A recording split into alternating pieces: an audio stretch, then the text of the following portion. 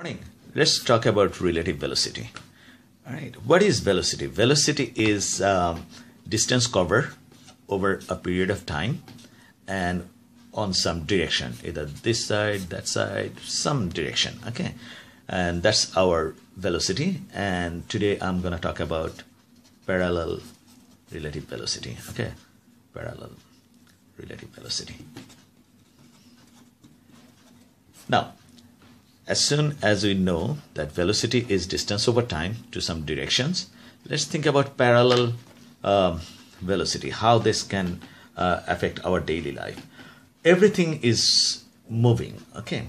Um, it's, it's, it's depend who is the observer. Okay, let's say this person is walking to this direction. Okay, let it's uh, this person's velocity, velocity of A, this person we call it A. It has 1.2 meter per second towards this way eastern side. And then let's say there is another person uh, actually running okay? That's running and uh, velocity of this person is uh, let's say 1.8 meter per second okay? They're they're running on a straight line like that parallel okay what is the velocity of b relative to a that's how we write down B relative to A.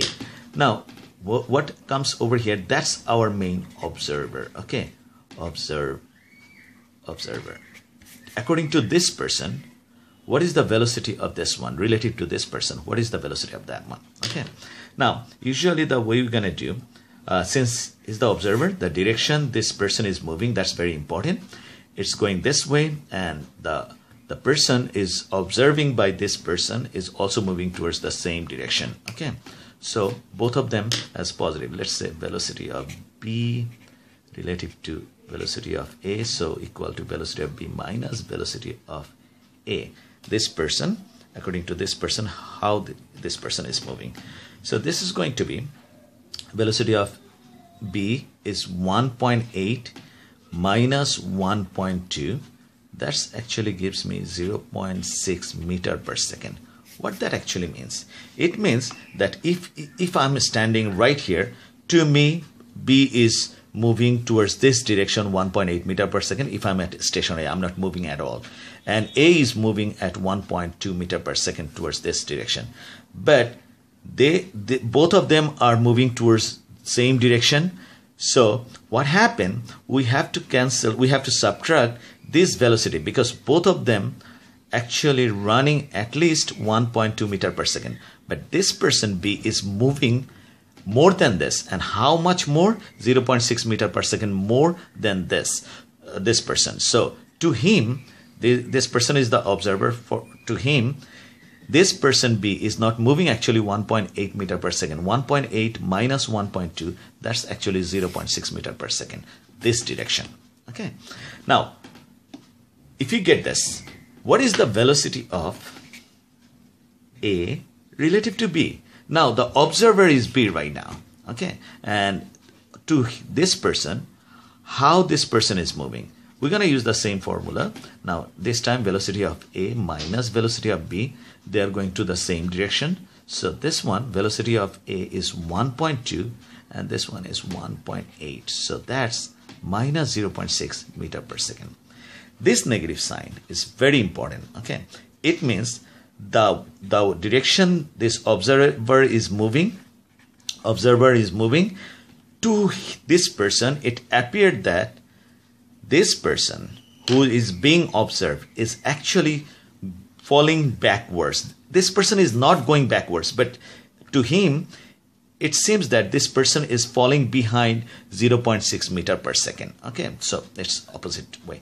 Uh, this this example is very good whenever you are traveling in a in a, a, parallel line and you see a car is moving really fast faster than you then it seems like that that car is actually moving away from you okay? Not not true its uh, true velocity but according to your velocity then that velocity would be subtracted and whatever is left over that's going to be the velocity of this one. But to this if you are here okay? But to this person you are actually falling apart. If you give enough time then probably from his um, uh, the, uh, glass mirror glass uh, looking mirror glass you will be disappear okay because you are going to fall behind okay? Negative 0.6 meter per second means that. What if these two person are traveling on the opposite direction? Okay same way velocity of a remains 1.2 meter per second and this person a is moving towards the eastern side and this person was running and velocity of b is 1.8 meter per second towards this direction um, towards uh, western side. And then what is the velocity of a relative to b? We're going to use the same formula okay? Uh, this formula over here velocity of a that's 1.2 now remember the observer is b so its direction is very important. Now this person a is moving opposite direction to the, this person. So that's going to be negative 1.2 and from the formula we got negative 1.8 that's negative 3 meter per second. Okay I'm gonna come back to this within a second okay? Let's do what is the velocity of b relative to a? Now the observer changed okay? Now towards a. Now his direction is very important. This person is mo moving opposite direction of this observer. So it's minus 1.8 minus 1.2 minus 3.0 meter per second. Now interesting thing. This and this are the same. Velocity of a relative to b or velocity of b relative to a are the same. What that actually means? It means since they are moving opposite direction from opposite direction the distance between them close in that fast okay? It's closing in negative 3 meter per second the the space between them is it's just closing that fast okay?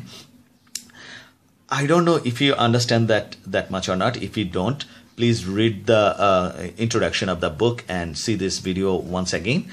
And next on on the next video i'm going to talk to you about relative velocity on walkway or travelator okay? So see you in next video. Take care. Have a good day